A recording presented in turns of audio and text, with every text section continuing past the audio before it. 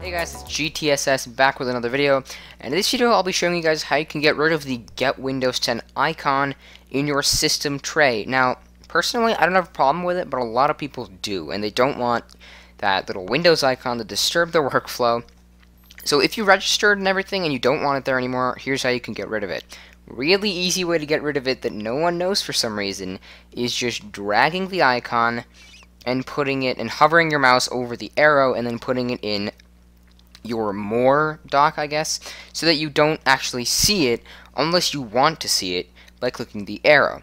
Now, if you don't want that, if you want to completely get rid of that and you don't even want it in your more part of your system tray, you can go to the task manager by right-clicking the Windows taskbar.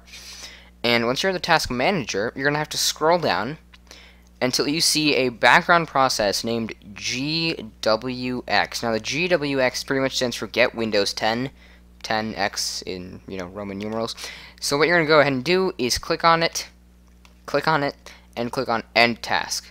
Now it's gone, that process is no longer alive, and once you hover your mouse over your taskbar, it's going to be gone.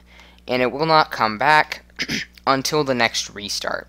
So that's a quick way to get rid of the Get Windows 10 icon. Now it will come back the next time you restart, but the first solution of dragging and putting it in the dock over here, that will always stay there even when you restart. It remembers where you want it, and it will not come into this part unless it has a new message it wants to show you, which isn't going to happen until July 29.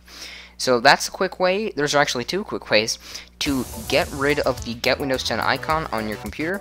So if you like this video, be sure to give it a like, and subscribe for more Windows 10 tech stuff, and I'll see you in the next video.